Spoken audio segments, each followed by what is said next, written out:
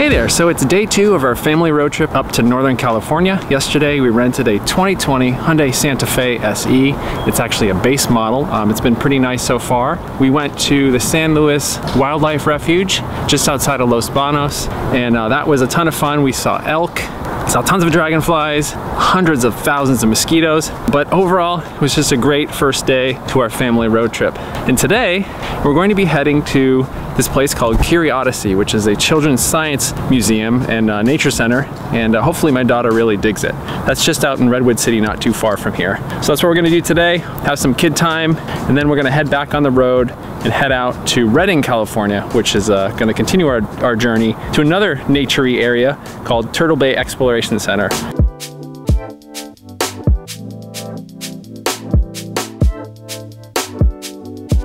So my wife got up super early this morning to come out here and take pictures of the birds that were out here. Really pays to get up early if you want to see a lot of wildlife activity.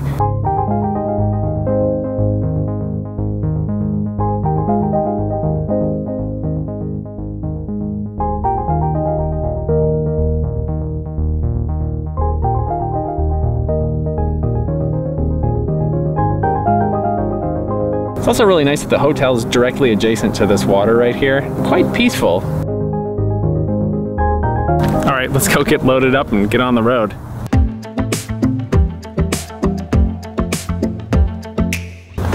Do you like this car? Uh, no. What do you like better? I like my car better. Where are we going? To CuriOdyssey.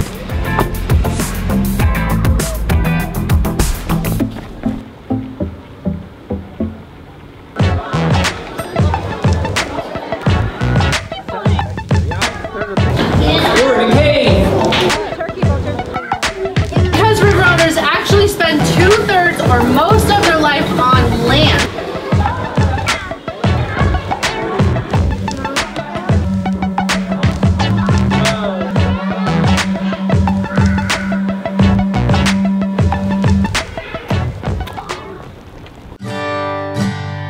All right, we just finished up that CuriOdyssey. I'd recommend it to anybody that's got young kids if you're in the San Francisco area. It's a great place to go, lots of learning activities, really cool animals. Um, we got to see the river otters get fed. My favorite thing was that little standing wave generator they had with the two speakers pointed towards each other and the little uh, styrofoam balls in the middle. I totally want to make one of those for myself for no, no reason at all. It was really cool. Yeah, and really just the location of this place is fantastic. And you can see the airplanes coming in to land at San Francisco Airport, which is pretty neat.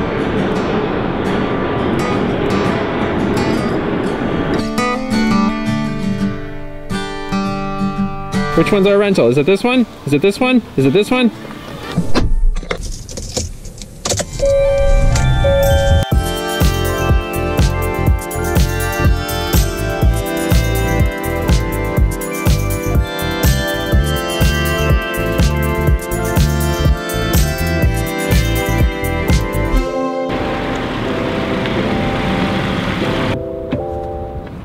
Okay, we've traveled about 200, 250 miles, something like that, to Redding, California. And uh, now we're here at the Sheraton Hotel, ready to start our adventures here. But the problem is, you see, on our way here, we determined that the place that we wanted to go to, the Turtle Bay Exploration Center, changed their hours for the winter. It's not winter, but they changed their hours and they're actually gonna be closed tomorrow. They've switched to winter hours even though technically it's still summer, but anyway, this is an opportunity. It's an opportunity to find some new things that we didn't even really expect to happen. So I think we might actually head out to a ghost town tomorrow. We'll see, but it's gonna be different than our original plan.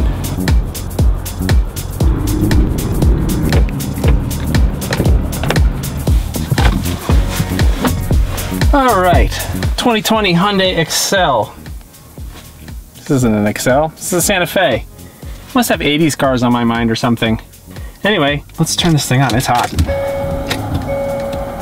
So this is day two of our road trip. I figured I'd give you a little rundown on how it's been going with this 2020 Hyundai Santa Fe. We've traveled 636.6 miles so far, and we've averaged 26.2 miles per gallon over the course of the whole trip. Today we actually did a little bit better um, because we weren't in as many hills. Um, we actually did almost 28 miles per gallon. I feel like that's pretty pretty good for for this, a vehicle of this size. Of course, it's not going to match you know like the Rav4 hybrid or anything like that, but it's it's not terrible.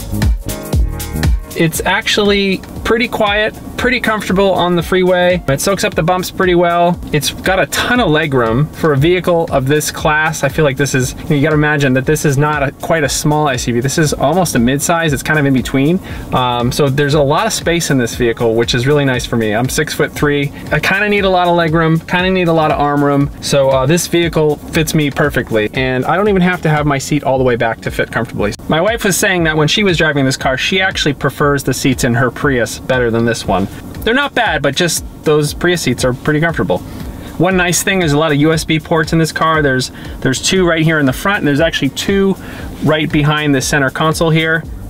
So this Santa Fe is a base model, so you're not getting any dual climate controls, but me personally, I like the simplicity of just a fan, temperature, and position. That's actually my favorite kind of climate control, so in this case, having a base model actually works better for me. The infotainment system is great. Thumbs up Hyundai. It's it's wonderful. We've been using Apple CarPlay and it's really responsive, works great. Everything that's built into the infotainment is responsive and it works great. I know some people complain about the home button being kind of too far on the right over here, but I've got long arms so that doesn't really bother me. All right, enough about the car. I think we're gonna go and try to plan out our day for tomorrow. We still don't exactly know what we're gonna be doing. That's it for day two and the family road trip to Northern California in our 2020 Hyundai Santa Fe. We'll see you tomorrow for day three.